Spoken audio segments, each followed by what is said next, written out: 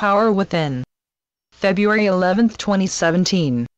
So many of you are concerned about the state of the world. You are concerned about your peace, your safety, your economy, and your environment. You are worried that the actions of those in power could affect you in adverse ways, and hopeful they will affect you in positive ways. We hear many of you asking, what is the world coming to? From our perspective, the world has always been a mixture of light and dark, truth and misunderstanding.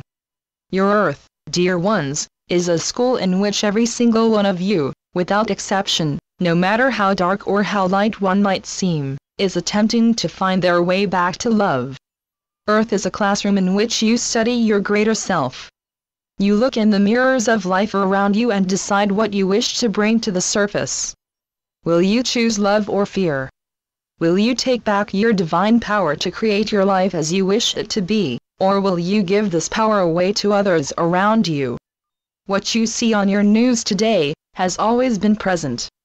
The only difference between now and times past is that you have access to information that was once hidden.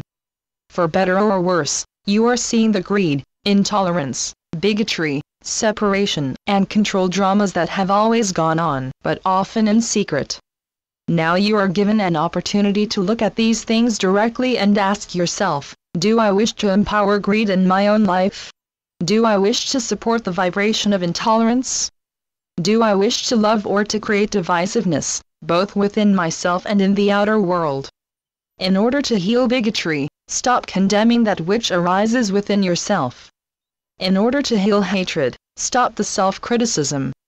In order to heal greed, allow yourself abundance and be grateful. What you want to heal on the outside, you must address at the roots, within each and every one of you.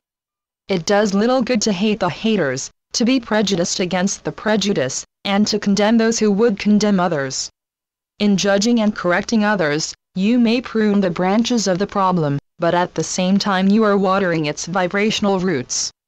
Instead, love the light within all beings, no matter how confused or dark they may seem. Imagine fanning the flames of the divine spark within them. Pray for their upliftment. Pray also for your own upliftment, dear ones, for a single soul standing in the light of love and truth is in power far more powerfully than an army of souls lost in darkness.